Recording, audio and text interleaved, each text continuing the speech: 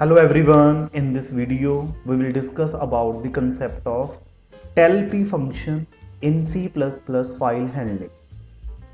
Tellp function is defined in the OStream class and used with output stream. It always return the position of the current character in the output stream where the character can be placed. Tellp function tells the current pointer position in the text file. Suppose we have entered 20 characters in a text file and our current pointer is at 19. Since pointer value starts from 0, therefore 20 minus 1 is 19. So if we use tellp function in text file we would get an output which is 19 of type integer. Using tellp function we can edit the text file from the last position in the text file or wherever the current pointer is. Basically tell put pointer. It tells where your put pointer is that is for the write operation. The syntax for using a tellp function is name of the variable is equal to name of the file handling object dot operator then name of the function. Your variable should be of type int. For example, pos is equal to obj dot tellp. Now in this case POS is a variable of type int and obj is the file handling object. Let's see the complete code of tellp function in C++. First of all include the header file hash include fstream.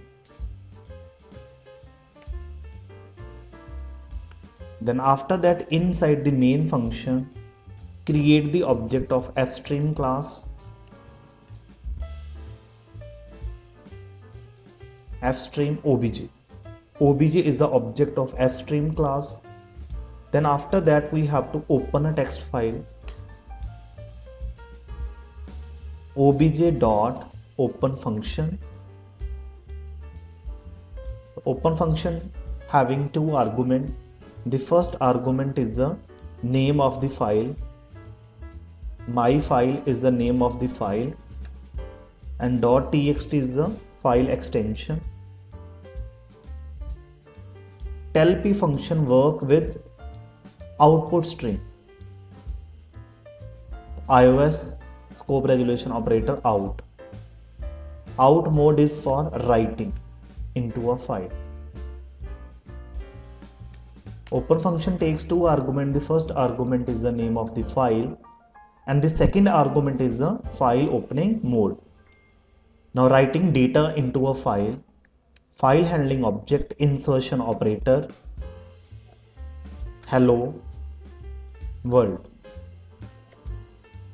Writing data into a text file. There are 12 characters from h to d.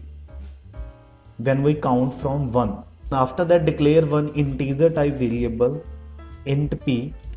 P is a variable of integer type now P is equal to apply the syntax of tellp function.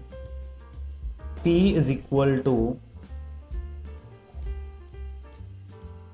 file handling object dot operator the name of the function tellp.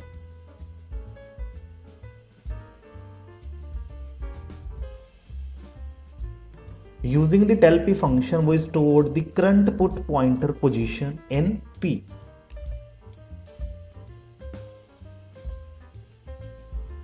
then after that with cout and insertion operator display the value of p.